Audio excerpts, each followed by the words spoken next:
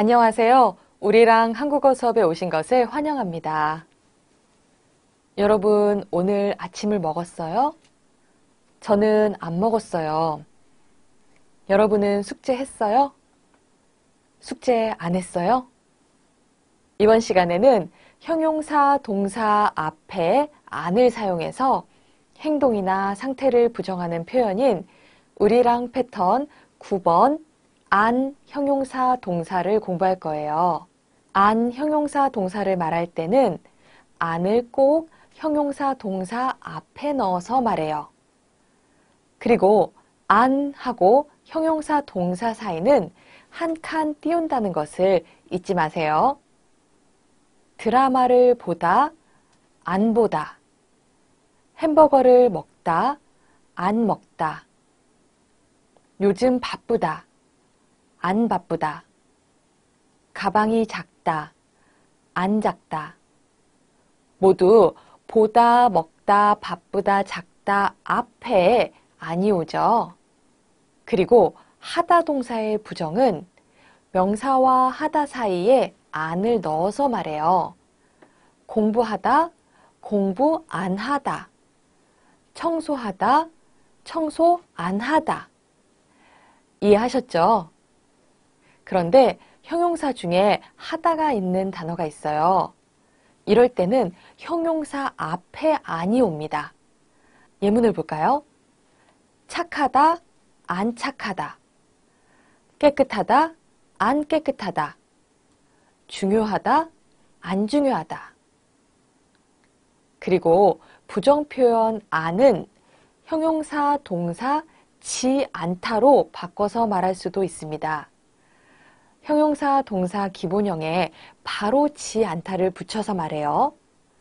예를 들어 볼까요? 강남에 안 가요. 강남에 가지 않아요. 피자를 안 먹어요. 피자를 먹지 않아요. 공부를 안 해요. 공부를 하지 않아요. 각 두 가지는 모두 같은 뜻이에요. 그럼 다음을 안을 사용해서 부정문으로 만들어 보세요.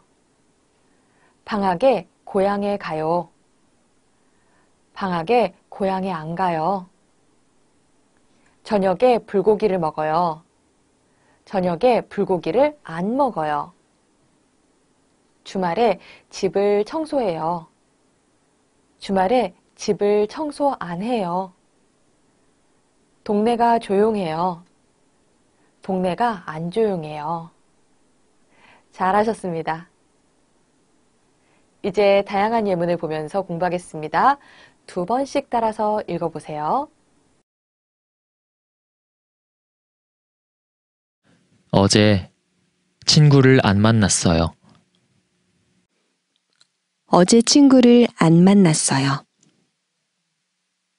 오늘은 공부 안 할 거예요. 오늘은 공부 안 할 거예요. 하늘이 안 맑아요. 하늘이 안 맑아요.